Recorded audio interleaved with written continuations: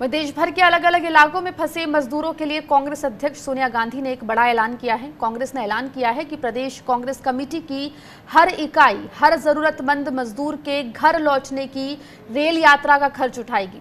सोनिया गांधी ने कहा है कि मजदूर देश की रीढ़ की हड्डी है, उनकी मेहनत और कुर्बानी राष्ट्र निर्माण की नींव है। सिर्फ़ चार घंटे के नोटिस पर लॉकडाउन करने के कारण लाखों श्रमिक और कामगार घर वापस नहीं लौट पाए।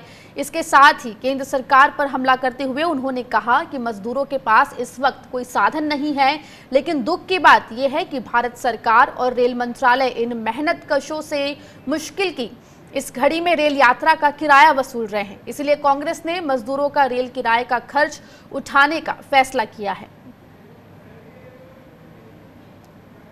वही प्रवासी मजदूरों की घर वापसी के लिए रेल टिकट का पैसा लेने के मुद्दे पर सियासत शुरू हो गई है।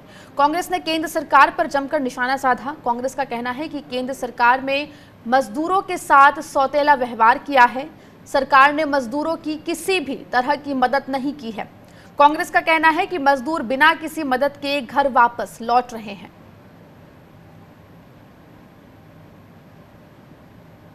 भारतीय राष्ट्रीय कांग्रेस ने मेहनत का श्रमिकों व कामगारों की इस निशुल्क रेल यात्रा की मांग को बार बार उठाया है। दुर्भाग्य से सरकार ने, न सरकार ने एक सुनी और न रेल मंत्रालय ने।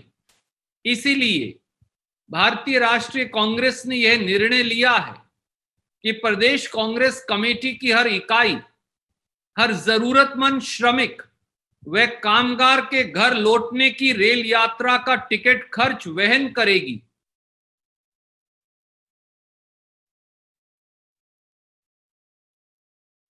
सिर्फ़ चार घंटे के नोटिस पर लॉकडाउन करने के कारण लाखों श्रमिक व कामगार घर वापस लौटने से वंचित हो गए।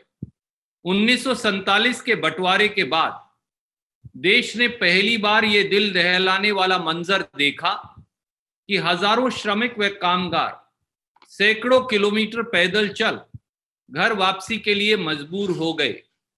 न राशन, न पैसा, न दवाई, न साधन, पर केवल अपने परिवार के पास वापस गाँव पहुँचने की लगन।